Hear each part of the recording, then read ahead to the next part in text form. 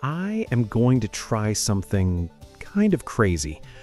I want to fatten cattle on less than $2 per head per day and still hit solid gains. No, this is not about starving steers. This is about smarter feed efficiency, byproduct feeds, and a ration that actually works in the real world. If this fails, every pound of beef I sell loses money. Keep watching because I'm going to break down the exact feed cost, the average daily gain, and the sneaky trick feed salesmen never tell small ranchers. Let me be clear right from the start. Most cattle feeders are bleeding cash and they do not even know it.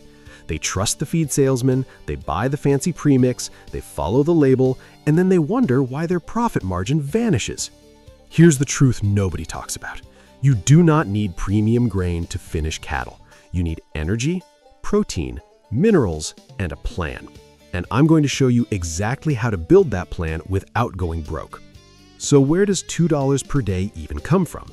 Let me walk you through the math, because this number is not random. It is calculated, tested, and repeatable. The average finishing steer weighs around 1,000 to 1,200 pounds when you start the fattening phase you want them gaining between 2.5 to 3.5 pounds per day.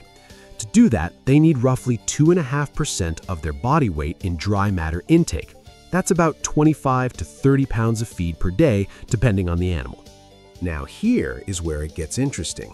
If you buy a commercial finishing ration, you are paying anywhere from 12 to 18 cents per pound. Do the math. At 15 cents per pound and 30 pounds per day, you are spending $4.50 per head per day. That is more than double our target. And the worst part? Half of that cost is markup, packaging, and delivery. You are paying for convenience, not performance. But what if I told you that you can build a ration yourself using local byproducts, commodity grains, and basic supplements for less than half that price? You absolutely can, and I'm about to show you how. But first, let me tell you the three biggest mistakes that kill profit in cattle feeding, because if you make even one of these, nothing else matters. Mistake number one, overfeeding protein. Protein is expensive, most feedlot rations only need around 12 to 14% crude protein during the finishing phase, yet I see producers buying 18% rations because they think more protein equals more gain. It does not. Once you exceed the animal's requirement, that extra protein just gets converted to urea and peed out. You are literally flushing money down the drain. So stop buying high-protein finisher rations unless you are feeding young, growing calves. For finishing steers, 12 to 14% is plenty. Mistake number two, ignoring feed conversion. Average daily gain is important, but it's not the whole picture. If your cattle are gaining 3 pounds per day, but eating 40 pounds of feed to do it, your feed conversion ratio is terrible you want a conversion ratio of around 6 to 1 or better during finishing. That means 6 pounds of feed for every pound of gain. If your ratio is climbing above 7 or 8 to 1, something is wrong. Either the ration is unbalanced, the quality is poor, or the cattle are not healthy. Track this number religiously. Mistake number 3. Buying ingredients you do not need. The feed industry loves to sell you things yeast cultures, probiotics, enzymes, flavor enhancers, the list goes on. Some of these additives work in research trials. Very few make a measurable difference on a small ranch. Save your money. Focus on energy, protein, minerals, and clean water. Those four things will get you 95% of the results. Everything else is optional. Now let me show you what a real $2 per day ration looks like. This is not theoretical. This is what I am feeding right now, and it is working. The base of the ration is corn, not whole kernel corn, but cracked or rolled corn. You want to process it just enough to improve digestibility without turning it into dust. Corn is your primary energy source. It is cheap, energy dense, and cattle love it. I am buying corn locally for about 6 cents per pound. At 20 pounds per head per day, that is $1.20. That is your foundation. Next, you need a protein source. I use dried distiller's grains, also called DDGs. This is a byproduct from ethanol production. It runs around 26 to 30% protein and 8 to 12% fat. It is energy dense, high in protein, and usually cheaper than soybean meal. I pay about 9 cents per pound.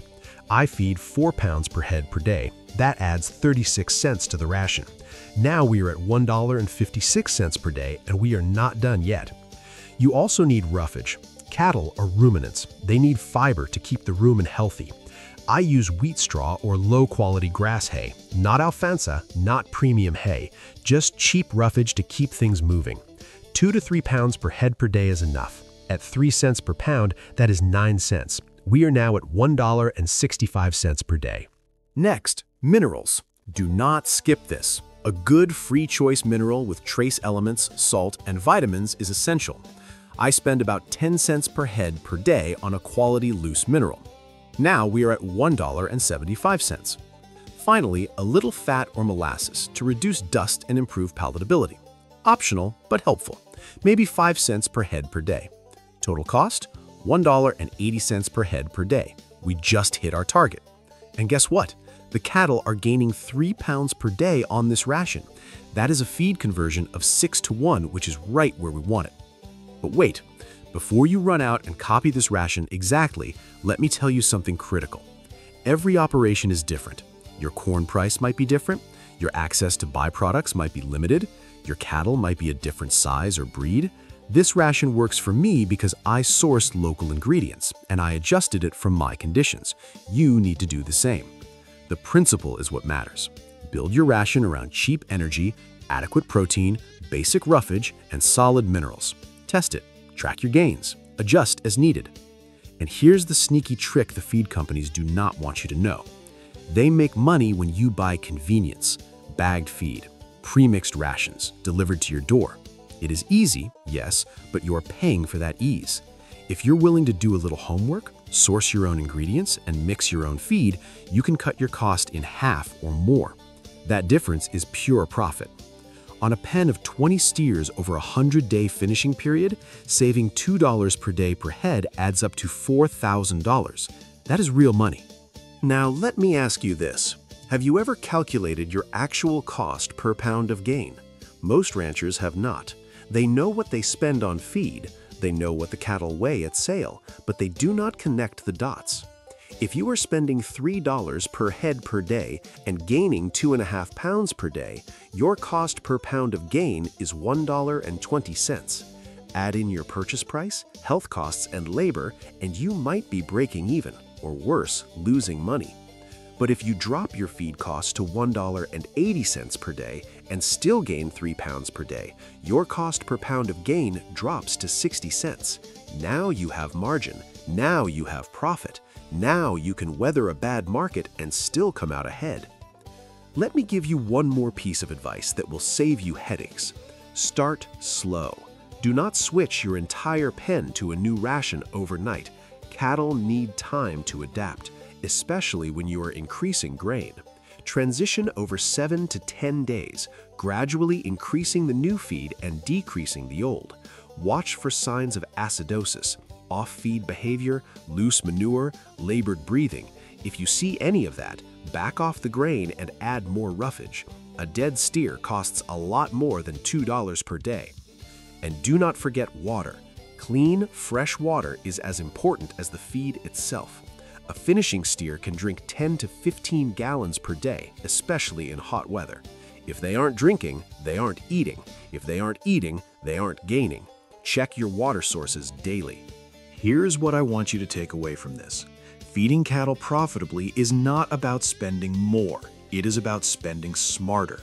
It is about understanding what the animal actually needs, sourcing ingredients locally, and refusing to pay for things that do not add value. The $2 per day target is not a gimmick, it is a goal, and it is absolutely achievable if you are willing to think like a business owner, not just a cattle feeder. If you found this helpful, do me a favor, hit that subscribe button and join the biggest bulls and cow community. Drop a comment below and tell me what your biggest challenge is with feed costs. Are you mixing your own rations or are you buying bagged feed? What is your cost per head per day? Let's learn from each other. And if you know another rancher who is struggling with feed costs, share this video. We rise together. Thank you for watching, and I will see you in the next one.